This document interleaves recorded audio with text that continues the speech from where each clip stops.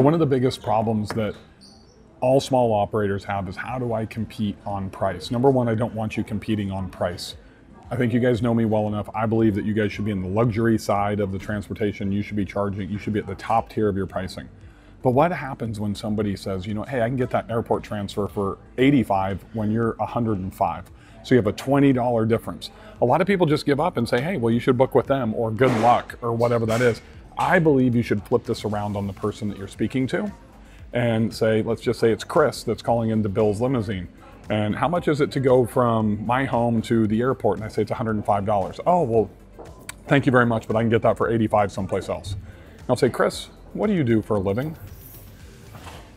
And Chris will say, well, you know what? I am in sales. Okay, well, if you're in sales, isn't the most important part of your job to generate revenue and profitable revenue for the company? What if Chris says, well, I own XYZ business? Well, Chris, then you get why, you know, I'm a value-based company and I do X, Y, and Z for you. And you probably do the same thing for your customers. And I doubt you're the cheapest person in your market segment. So one of the things to get a price conscious buyer to understand value is you have to get them to understand the value that you are selling. And that's usually what the disconnect is between buyer and seller. It's our job as the sellers, the owner of the company, or to train your customer service reps or anybody that's interacting with your prospects to turn them into clients, is they have to know how to work around and get over these objections. And that's why one of the most important things for any business is to create an objection library. So if you take the questions that you are not able to answer, if you're not able to turn somebody that tells you no to turn a no into a yes, I implore you, I demand that you write that question down that they're asking you that you can't get over. And then call me, sit down with your staff, talk to your fellow affiliates and your mastermind groups, whatever it is, and figure out the responses to be able to get over those objections.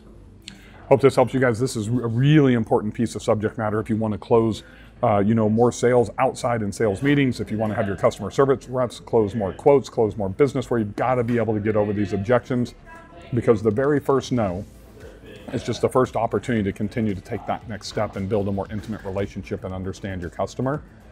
But they also have to understand you. And if they, we get hell bent on believing that we have so much value, but the problem is, is we don't really focus on how to communicate that value with our prospects.